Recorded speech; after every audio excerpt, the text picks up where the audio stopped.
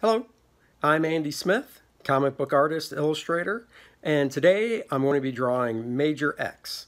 Major X is a new character that Rob Liefeld created this past year and wrote and drew a limited series for Marvel featuring the character.